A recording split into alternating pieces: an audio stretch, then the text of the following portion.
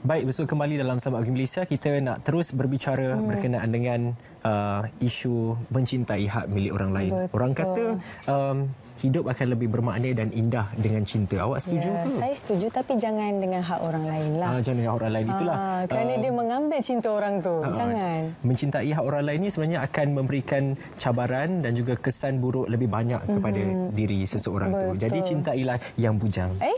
Sempat dia, dia promosi diri sendiri. Okey, kita okay. uh, bersama dengan uh, Dr. Love ke? Dr. kita bersama dengan pakar perunding. Uh, perunding motivasi kisah uh, uh, Tuan Haji Hushim Saleh yang akan berkongsi berkenaan dengan uh, topik uh, ini. Cinta hak uh. orang. Okey. Cakap cinta awaklah mula dulu sebab perempuan. Okay. Hai, saya nervous pula. Okay, kenapa cinta. nervous? Awak cinta orang lain ke? Bukan. bukan. Okey, um, kenapa benda ini terjadi sebenarnya? Saya nak tahu sangat. Hmm. Kenapa selalu sangat? Sekarang ni makin orang hmm. makin banyak pula orang yang suka okay. hak orang lain. Okey, saya sebenarnya boleh motivasi dan saya juga kaunselor. Ya. Saya di klinik sendiri. Ha. Jadi saya nak cerita ni semua kisah benar lah yang berlaku di klinik hmm. lah. Betul lah ni Dr. Love. Ah, Jadi sebenarnya ha. kita kata ambil cinta orang lain tu kan eh. Hmm. Apa sebab uh, tanya tadi berlaku kan? Eh? Hmm. Berlaku okey. Yang sebab yang pertama sekali ialah okey. Uh, kadang-kadang kita tengok bila dah berkahwin, hmm. biasa bila dah berkahwin eh sepatutnya suami mencintai isteri eh Betul. dan isteri mencintai suami. Hmm. Sebelum kahwin tu oh cintalah. Hmm. Eh 300% betul eh? Yeah. Ha. I die, you die. Uh, Betul kan? Tapi bila dah kahwin, uh. dah kahwin baru keluar the true colour tau. Betul. Colour sebenar akan keluar kan eh? Mm. Dan di situ biasalah dalam perkahwinan orang kata ni lagi lidah lagi terik tu eh. Mm. Ha, ini kan pula kita berkahwin, mm. maklumlah kadang-kadang terkeluar kata-kata, terkeluar apa. Dan sekarang pula ni zaman ni ha. Ni, Social media. Ha, Mister ni, media ni kan, ya, mm. dan sebagainya.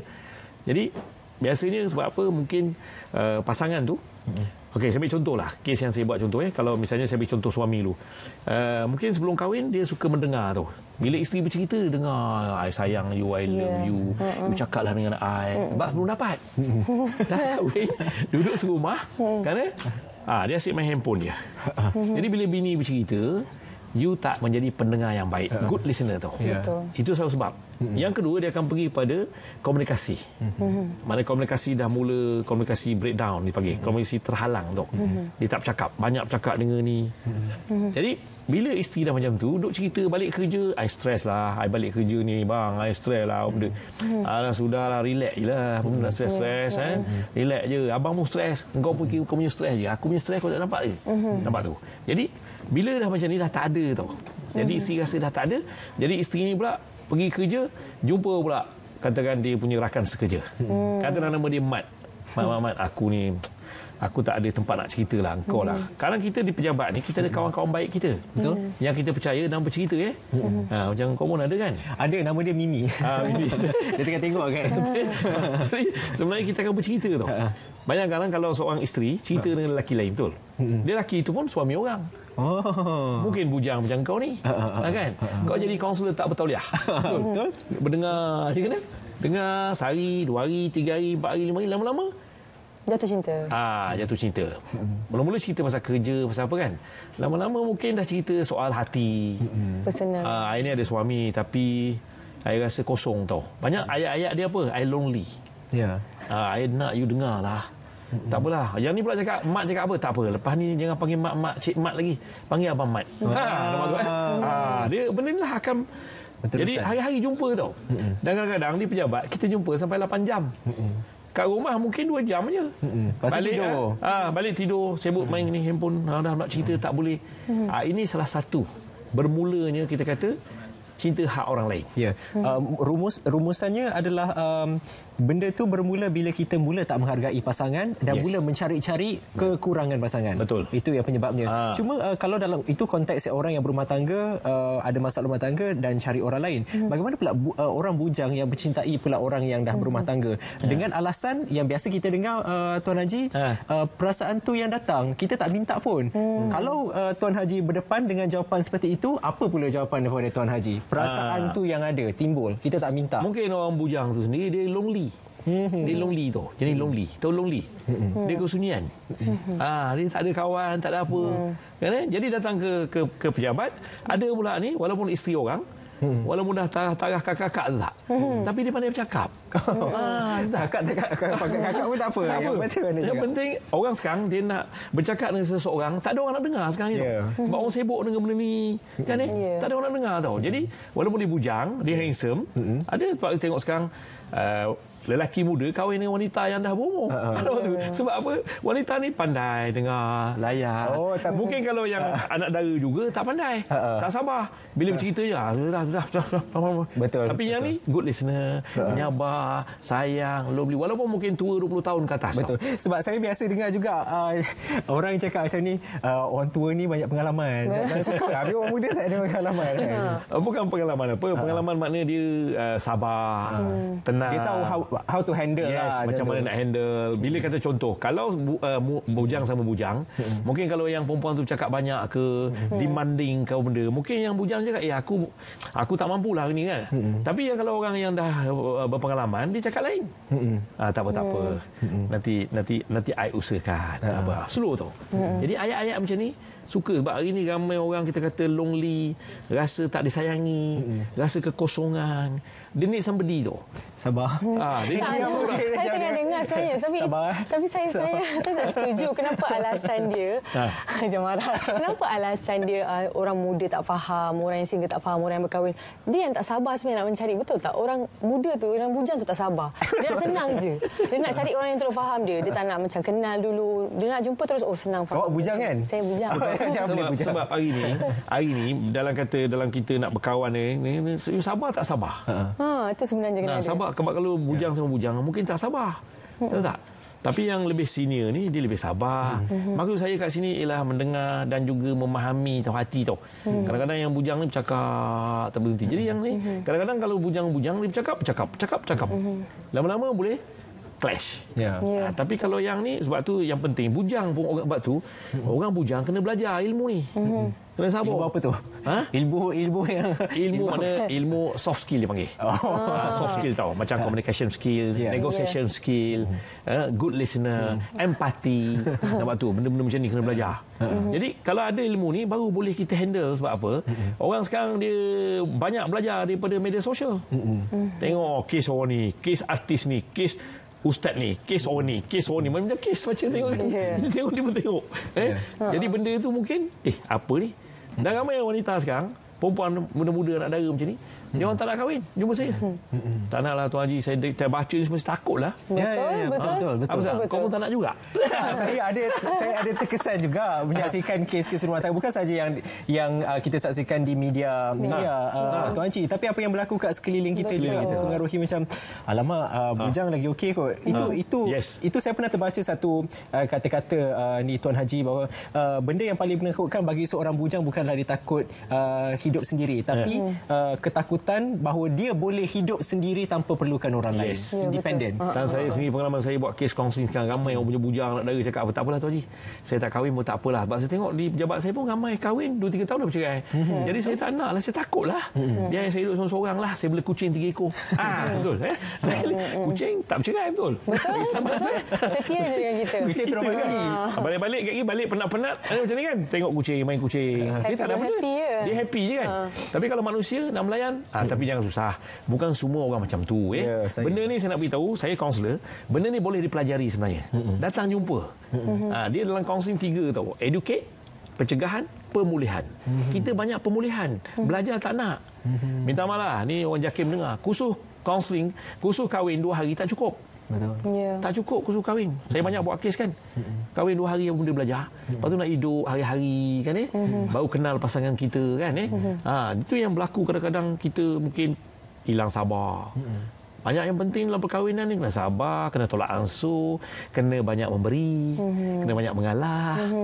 Ha, tidur kurang. Dah kahwin tidur kurang.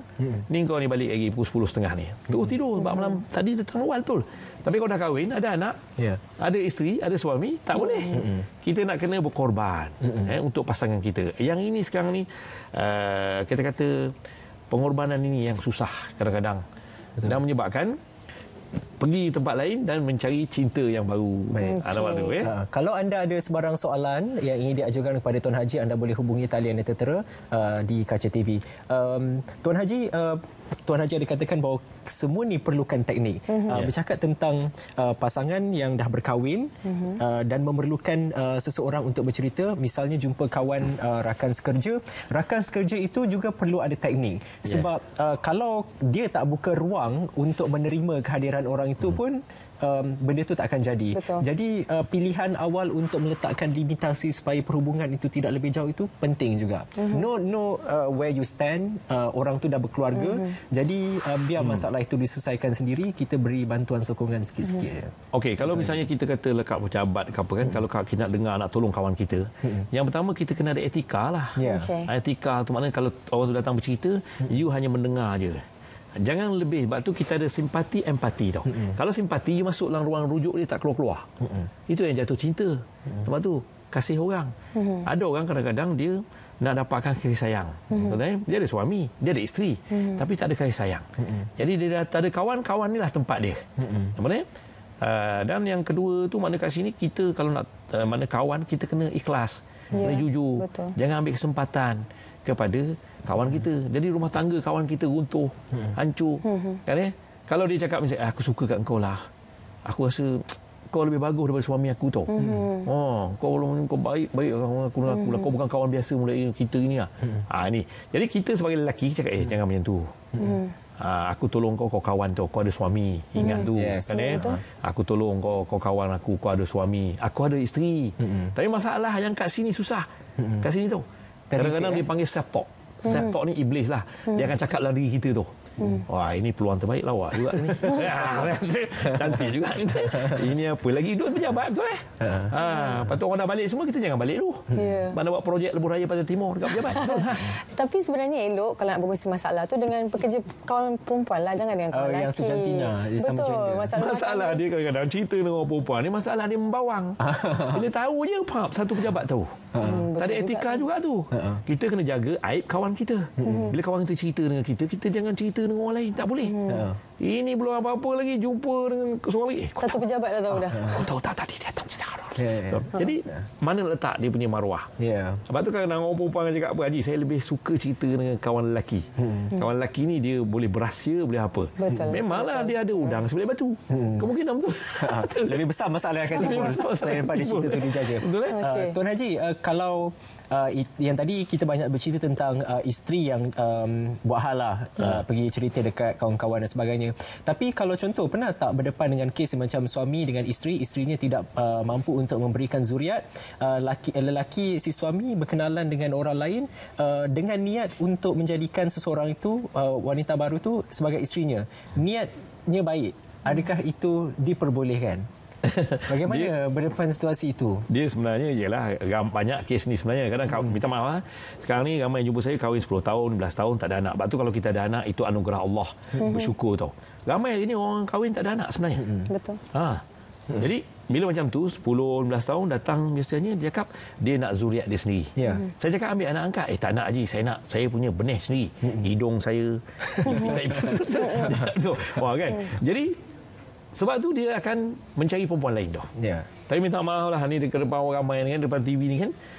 Yang datang jumpa saya dah beribu-ribu dah kebanyakan perempuan ni tak boleh terima. Kau boleh terima nak dimadukan? Boleh? Cakap betul tak? boleh. Ha? Tak boleh. Tengok tu ah. Tak, tak boleh. Saya Mana? boleh. Ha. Alah, saya tak boleh. Saya tak Lelaki memang lelaki memang kita boleh kahwin empat eh. Tiga, empat, dua, dua, tiga, empat kan eh. Tapi orang perempuan setakat ni saya buat counselling. Minta maaf lah. Walaupun Tak tudung labuh bawah lutut ni. tak boleh. Bari kata lain boleh share Tuan Haji. Yang ini tak boleh. ha, lepas tu ramai hari ni lelaki kahwin senyap. Betul. Ha, ni hari Sabtu hari Minggu ramai kahwin ni. Ya. Bini tak tahu. Soalnya ni abang kamera. Ambil-ambil kamera dah ada bini. Mana kita tahu? Okey. Tak tahu. Kameraman kita gelap mungkin Ah, dia gelap dia. pernah lakukannya kan. Jadi sebenarnya benda ni bila ditanya kan orang lelaki kalau nak juriat kau benda Okey. dia boleh sebenarnya dia patut bincang lah dengan isteri dia. Ya, Dia lah, communication, eh. Ah, mesti Kita ada bincang. pemanggil sebenarnya Andy. Ha. Ha, topik panas ni. Hello. Hello, Assalamualaikum. Hello, Assalamualaikum. Ya, apa khabar puan? Terus saja soalan ataupun uh, pandangan. Ah, ini pandangan saya sajalah eh. Mm-hmm. Ah, saya dan suami ah, telah berkahwin ah, selama 13 tahun. Mhm. uh, kami tiada anak. Uh, sekarang kami dah 40 40-an lah dua-dua dah 40. Mm-hmm. Uh, memang ramailah kawan-kawan memang saudara mara, makcik-makcik semua macam menggalakkan suami saya cari apa isteri lain untuk mendapatkan zuriat. Mm-hmm. Tapi saya pernah bertanya hati ke hati dengan suami saya, dia kata untuk membuka satu lembaran baru dalam hidup dia yang selama 13 tahun dengan saya, mm-hmm. dia kata tak semudah tu. Maksudnya untuk bercinta bercinta bercinta balik hmm. tak semudah tu lah dia kata sebab hmm. macam tak kena kenal perempuan baru tu sikap hmm. dia macam mana boleh tolak ansur atau tidak jadi pada saya benda ni apa pun terletak pada hati betul sebab anak atau dengan tiada anak atau ada anak ini bukan satu alasan hmm. dia adalah macam hati ke hati hmm. yeah. ha, tu je lah pada pandangan saya sebab saya yeah. pernah bercakap hati ke hati dengan suami saya lah hmm. kena anak-anak ni dan kahwin kahwin lain hmm. ha, itu je lah uh, saya punya pengalaman Hmm. Baik. Okay. Terima kasih. Terima kasih. Puan, tanpa anak, tanpa perlu adanya orang ketiga, hmm. hidup masih lagi boleh bahagia. Betul. Asalkan komunikasi. Setuju? Hmm. Puan Haji? Sebenarnya, uh, Puan tu cakap tu betul juga. Eh. Hmm. Tapi bukan semua lelaki ber, macam Berfikiran suami. macam tu. Macam tu eh. Hmm. Ada lelaki, dia lelaki atau manusia ni Allah jadikan berbeza-beza. Betul. Hmm. Dia kata, aku nak zuriat aku juga. Jadi, hmm. suami Puan tadi memang bagus lah tu. Hmm. Uh, betul eh? Mana dia kata dia bukan senang nak bercinta balik, hmm. uh, nak buka cawangan baru. Bukan senang, betul eh? Hmm. Yang satu orang kadang huru-hara, betul eh? Betul. Uh, jadi, itu eloklah berbincang dengan isteri. Mm-hmm. Yang bagusnya kalau nak nak kahwin lagi elok bincang dengan isteri. Mm-hmm. Yang kita bergaduh dulu tau. Jangan bergaduh kemudian. Betul. Susahlah. Dan jangan saya pesan juga kepada yang nak kahwin di luar tu jangan sorok-sorok. Mm-hmm. satu hari bila tahu lagi dia, sakit eh? Oh, perang Betul. besar. Uh, lagi sakit kesan. Perang huru-hara besar lah kita. tak seronok lah. Mm-hmm. Eh, kita suami isteri kan eh. Kalau boleh biar kita bergaduh dulu. Benda kalau bini kita tak setuju, tak apalah kan. Mm-hmm. Tapi kalau orang perempuan dia dah setuju, betul eh? Mm-hmm. Izin dalam paksa kan uh, rela dalam terpaksa. Uh, rela dalam terpaksa. Untuk kebahagiaan uh, tapi suami untuk kebahagiaan suami ya insyaallah. Insya baik semoga kesemua perkongsian yang dikongsikan oleh tuan haji bermanfaat untuk anda menyelesaikan sekiranya anda berdepan masalah yang uh, kita uh, kongsikan ataupun ulaskan hari ini. Betul. Terima kasih sekali puan uh, tuan haji Saleh. Uh, semoga ya. penonton sana dengar nasihat-nasihat yang diberikan oleh tuan haji. Andy okay. dengar ya? Okey. Tak awak juga. Okey selepas ini kita ada seorang penyanyi uh, yang terkenal dengan lagu Uh, ini sangat terkenal dengan kita punya topik